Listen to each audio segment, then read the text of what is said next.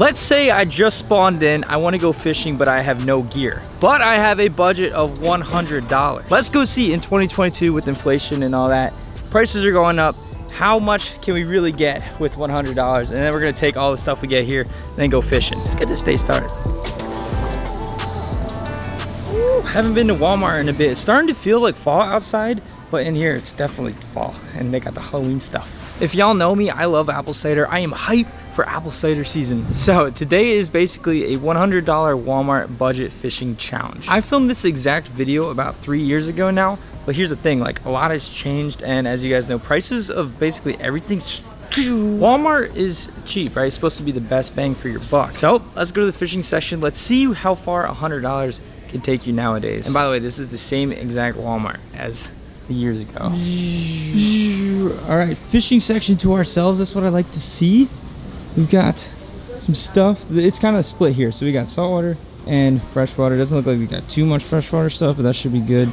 And then we have um, turkey. Doing okay, my guy? Oh, look at this. This must be like a new edition of glasses right there. Pretty cool. One eye strap. Ooh, they got the cast nets here. If you guys have been watching the saltwater stuff, I, I'm starting to learn it, man. The cast nets. Have you guys used the Walmart cast nets? Are they like as good as normal ones. I don't know anything. I just kind of try to throw it and sometimes it almost pancakes. But we've been getting some bait fish. If you guys haven't seen the saltwater stuff, it's been a lot of fun. But today we're going to switch it up from saltwater and probably start in this area. So as I said, we have $100 to buy rod, reel, line, lures, everything that we need to hopefully catch the fish today. The main hitters is going to be the reel and the rod. Maybe we can find a combo actually. I kind of want a bait caster, man. Last time we did this challenge, we had a baitcaster. Not trying to get some freaking Paw Patrol, Spoderman, freaking Rinky Dink. Super Salt, interesting. They definitely have a lot of different rods. Let me see if I see any baitcaster rods. Here's one. Hold up. 4868. That's kind of expensive. Hmm. Yo, Walmart. High key, y'all need some baitcaster combos. So many spin cast and spinning reel combos but I haven't seen, there's not just one bait cast. We've got this dude. Uh, that's like deep sea kind of dude. Uh, we got Packet. I've never seen this before. This is 2064. Interesting. Yeah, not gonna lie, this Walmart's kind of, kind of slacking. This is interesting. Usually I feel like you don't see line in the package if the reels packaged like that. Oh, we have another one there too. Huh.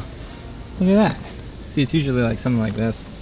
But, um, do you guys see any baitcasters? What the heck? This is the tiniest little Zebco reel. After further investigation, we do have a baitcaster. This one is $42. And I did actually, where'd it go, where'd it go, where'd it go? How much is this? This was the only like actual baitcaster rod that they had on the shelf. And this is why you gotta check, especially at a store like Walmart before you buy. So always check the guides. But look at this, man. Look at the tip. Can y'all see that? the tip is, is not there. I don't even know how much this was, but we are not getting that broken freaking tip rod, I'll tell you that. I guess baitcaster might not be the wave. Now, obviously you just go with Ozark Trail, $9.88. Call it a day, but uh, this, yeah. We're being serious here. If it's between me and a 10 pounder, I'm not letting a, you know, it'll do the job for certain things, but, you know. I think I saw some things kind of shiny, right? here if I can get this out. And it's missing a part of the reel. Sick. I just want something that's not like broken or trash. I feel like I'm at like a, a thrift store right now. Hmm. Like look at this right here. Is there a reason that all of these reels don't have the actual like real part on it? Look at all of them.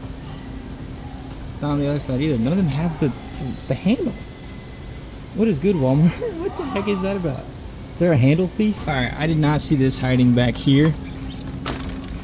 Pop this out real quick. Telescoping combo Ozark Trail with some bait. So it looks like he's got a spinner bait, an inline spinner. It looks like it's been retaped up. Somebody steal the reel handle? No. $20. Cool thing about this is that it is telescoping. So if you got a backpack if you're going traveling or something, I think that this is just easier as an adventure rod. It's like half the price of, I feel like a lot of these other rods that are probably pretty much similar. I feel like there won't be too big of a fall off in the performance, especially if there's no reel handles. So We'll put this down here for a second. $20, not bad. That's got line, rod, and reel, and some baits. So we're gonna be picking up two rattle traps. We have the silver and a little darker red kind of dude. As the season's changing like more to fall, hopefully these fish are gonna be kind of chasing bait. Something like, see this is saltwater section, something like this might be pretty good.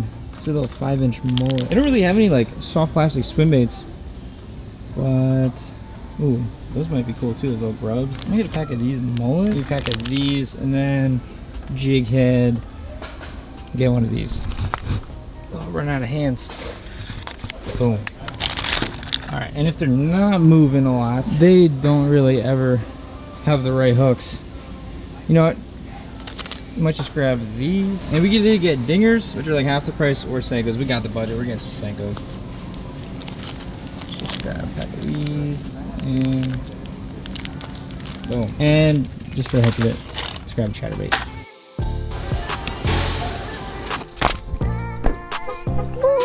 I'm gonna need to give me some apple cider ASAP. It is really feeling like fall. We got a nice cool breeze coming at us. It's, it's a like fall breeze. You couldn't mistake it. So we're just taking our stuff and we are going to go to the deep end. This is the pond that we were at uh, a couple videos ago now. It is very low. You can see where the water used to be, but the deep end is over there. And that seemed to be where the fish were at. So we're gonna do the hike all around the pond, get over there, unbox this. We've got all of our Walmart stuff in the bag and we'll see, man. Excuse us plants. All right, we're not even get to the deep area. We're just gonna start off here first. Kind of like a sandy beach you get to stand on. And it's like a sandier bottom. We kind of went with the interesting strategy here. Let's be honest, guys. That, that Walmart was kind of slacking, like high key, wasn't it? I've been to a lot of Walmarts across the country and you know the fishing sections are different depending on what kind of fishing is done in those areas. So ours that right there was kind of like saltwater slash freshwater, but the freshwater was very, it, it was just tiny. Why were all the rods freaking broken? But we went with the telescoping rod. It is taped up. I don't know if somebody returned this or not. Let's see if we could open this up here. Hello. Feels like almost like it was like it was wet. Like you know when cardboard feels like that? Looks like everything's inside though.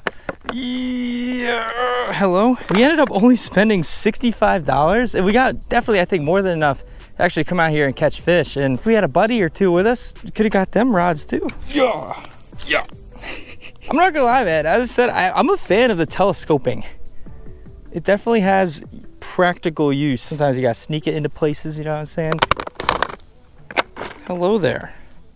Yeah, I'm just not gonna lie. I mean, that Walmart, the selection of especially rods and reels that it weren't broken. It was just kind of slacking. So we went with the good trusty Ozark Trail. I don't know if trusty is the right word to use. Let me know. Out of all the stuff that you guys saw, what would you have picked as a rod and reel setup? All right, doesn't feel bad. Let's hear the drag sound. That's how you really start to get a feel.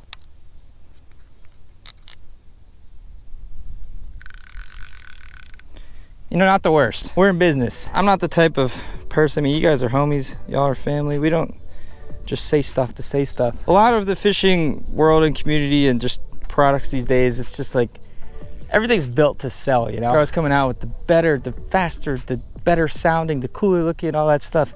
When it comes to fishing, especially if you're just coming out to like a pond like this, or like any of your, I'm sure a lot of you guys can relate to this, just like normal local neighborhood ponds. This is not so incredibly different. I mean, I would change the line out probably. Line's usually kind of garbage but it's not that much different than, you know, a super crazy expensive setup. It pretty much does the same stuff. Now, when you start getting into different types of fishing, um, it, you know, things vary, especially saltwater and especially big lakes and all this. I mean, there's uses for different kind of equipment and stuff. All I'm trying to say is just because something's cheap doesn't mean it's bad. And I feel like nowadays the fishing community will say otherwise. You, you fishing with a Walmart combo, bro? Yeah, watch this freaking 10 pounder we're about to grab here. So, only thing we didn't buy at Walmart that we're gonna be using today are these pliers and this water that has no water. All right, so first things first, let's go loud and let's go proud. One of these two. Yeah, let's go for this dude first. Half ounce rattle trap. Just the weather right now, like it's a little bit toasty when the sun's out, but it just feels like really nice. And I'm really hoping today and that in the next couple weeks that fishing is really gonna start picking up. Not that it's been bad, but just like, yeah, hopefully gets even better. All right, again, I really do appreciate all y'all for coming along this adventure day and just for watching the videos. It really means a lot. So basically, if you guys aren't familiar, this is the trap. We're gonna be doing some trapping. This is a lipless crankbait. Oh yeah.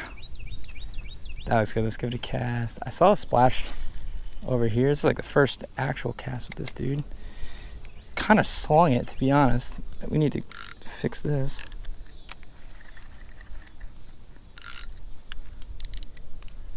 It's kind of got that real sound. I think that's the the freaking line that's on here. Definitely doesn't sound expensive.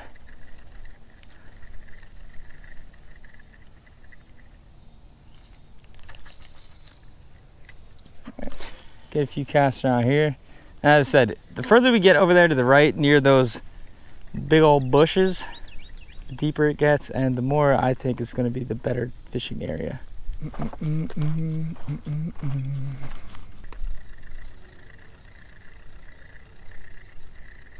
You know what I just realized? Hold on, listen to this real quick. When you reel this reel in, again, I think it's the line. I don't think it's like the actual reel. It sounds like uh, when you're going up a hill on a roller coaster, you know, like right before that big drop. There it is.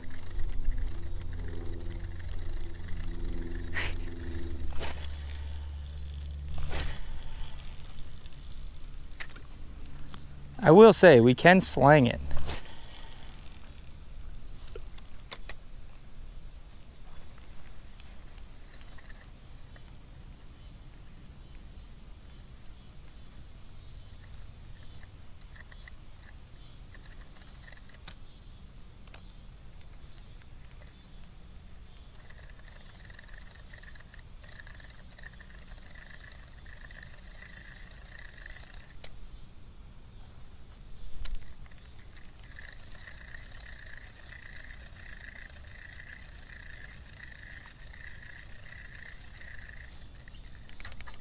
So again, these are both technically inshore baits. You got the five inch and the four inch.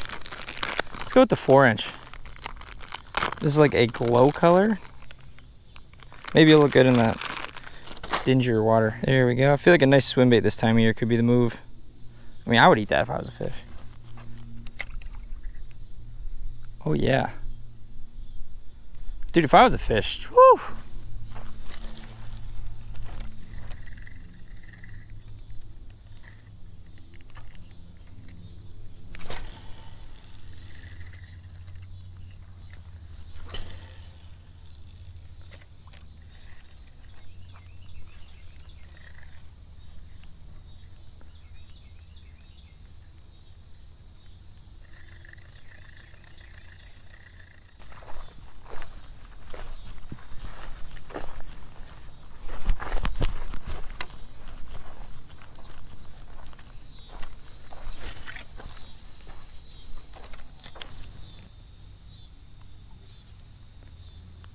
What kind of bait fish those are. It's definitely smaller than whatever I'm throwing.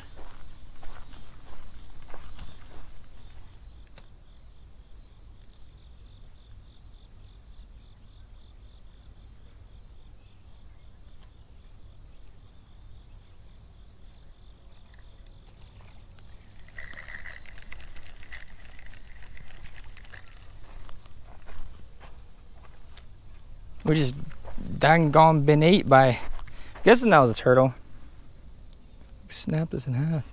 It's a good amount of turtles I've been seeing. I think I saw a freaking huge snapping turtle over there. Let's try these. Maybe a little big, but I think let me bite it down. Yeah, it's a little too big. That looks a little weird, but that looks good actually.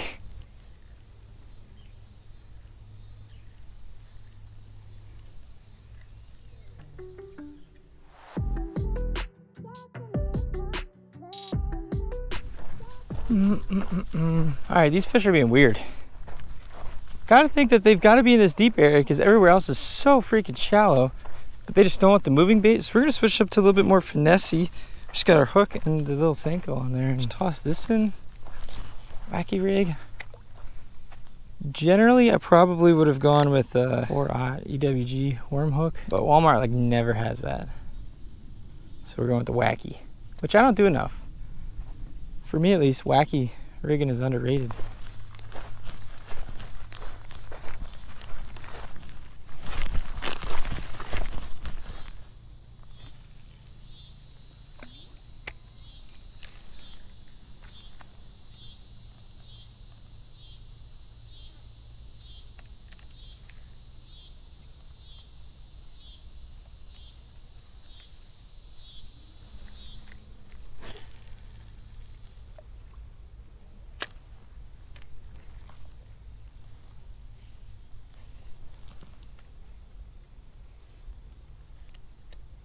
Oh.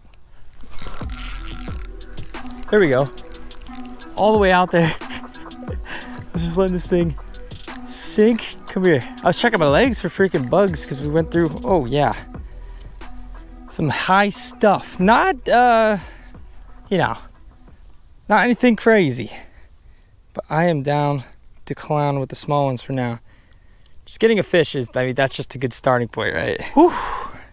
There we go, man. Again, they're so light in color in here. Look how tiny that mouth is. There's no way he could have ate what we were just throwing. Thank you, buddy.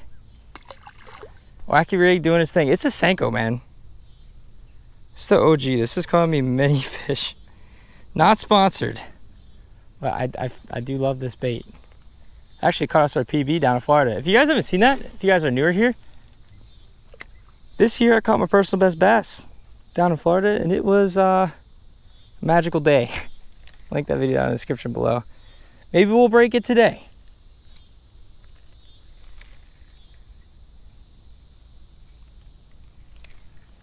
Just seeing a bunch of stuff just moving, man. There's turtles. There's little bait.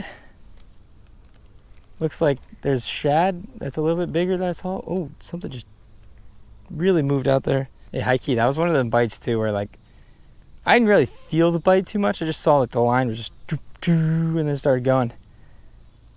You just never know when that line starts going. Sometimes that's how the big ones bite.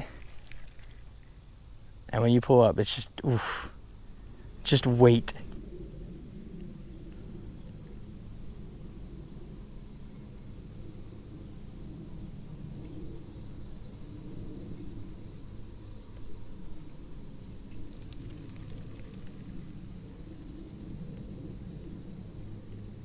Oh, we got fish on.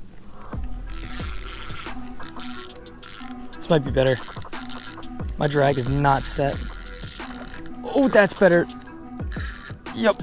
Yep. He knows he's hooked. Or she. Oh, that's a good fish. Oh my gosh. That is actually a really good fish. Come here. Alright. I don't even want to mess with this drag because I don't trust this line. We're just going to keep it loose.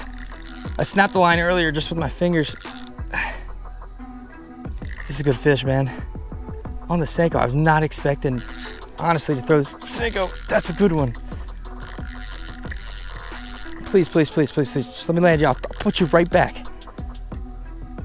Mm.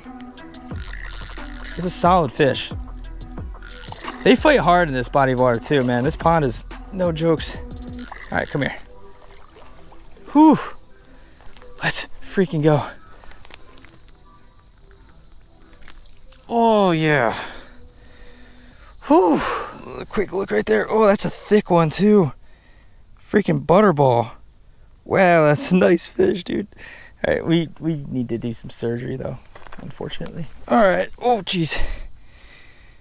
Still lively.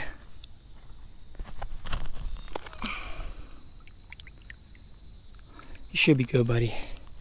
Wow, thick, like round. That put up a fight on this freaking Walmart rod, dude. Whoo! All right, let's go. We know too that there are bigger fish in here. So this is the watermelon black flake Senko, by the way. We go from baby fish to pretty freaking nice butterball fish. It's a bunch of bubbles right there. That's probably a big old turtle. It got the job done. I'm not gonna lie, that's scary. Like this, it's just the line that comes with these combos, especially like when you start getting to like the cheaper ones to me it's a little bit sus. It's not very trustworthy. So I'm not trying to tighten my drag down. I know it sounds dumb to have it like scratching. That's probably the right word for this drag. like when I'm reeling in the whole time, but you know what, man? It is what it is. And caught two fish so far. I'm curious though, let me know in the comments below, what is your favorite thing about fall? Is it the apple cider? The apple cider donuts?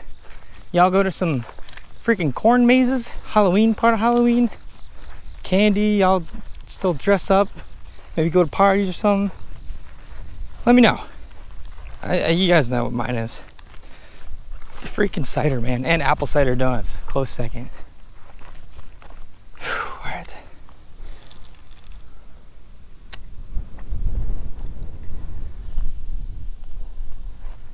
Got to stay more on top of our worm here. You know, it gets pretty deep, like right about there too. Let me just sink this thing to the bottom.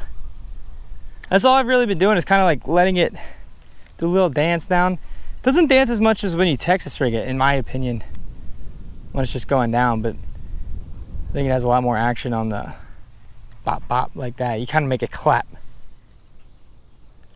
Oh, I just got bit. We're, we're on. Not a giant. Get over that stick. Over that stick. Boom. I think they like it. Oh.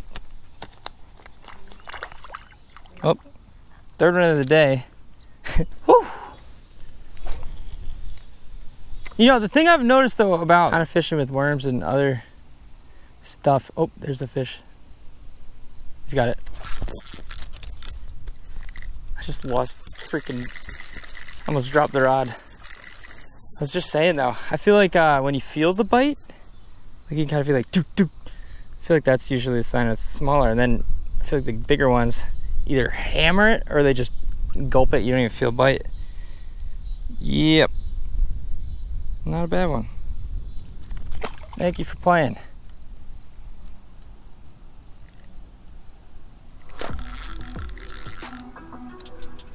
Hold on. Hold on. Oh. What?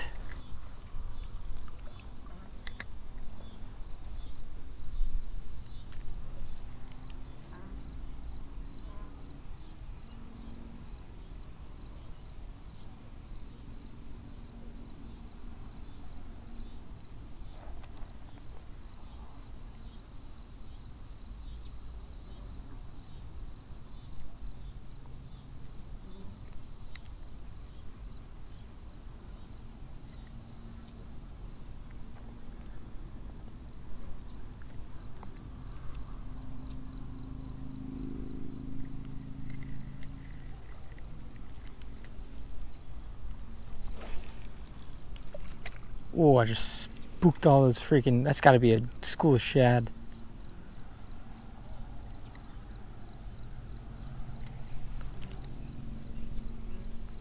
I spooked the crap out of them.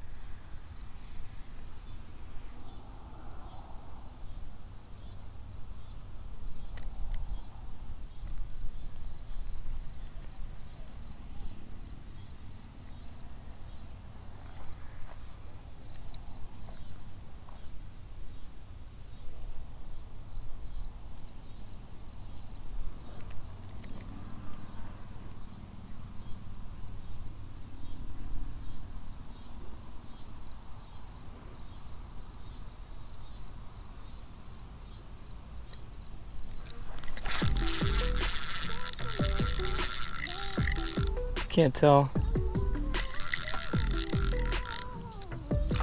It's not a bad one. That is not a bad one. That is not a bad one. Whew.